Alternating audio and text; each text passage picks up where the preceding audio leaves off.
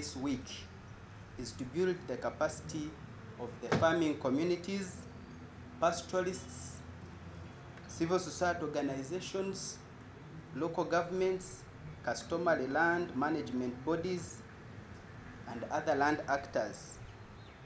held in the districts of Iganga, Luuka, Kaliro, Kamuli, Bugweri, Bugiri, Mayuge, Namutumba, Namayingo, and Jinja.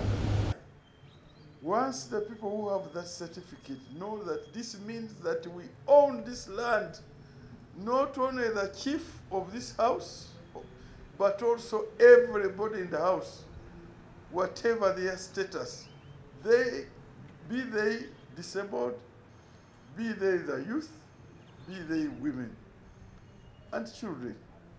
So that is very important. Expected outcomes will include communities and general public aware and knowledgeable about critical provisions of the National Land Policy 2013 and related land laws, and the importance of environmental conservation in Uganda.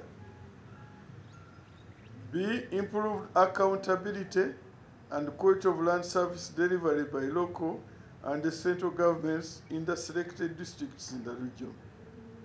C. Improved responses of local and central government to grassroots land, land rights and housing, urban development, and environmental conservation issues. Yeah, but we shall also be uh, working closely with the ministry on the distribution of CCOs, which are certificates of customary land ownership. We are planning that this will be able to reach to beyond uh, 5,000 people, and we have a very strong uh, interest in women, men, youth, and persons with disability.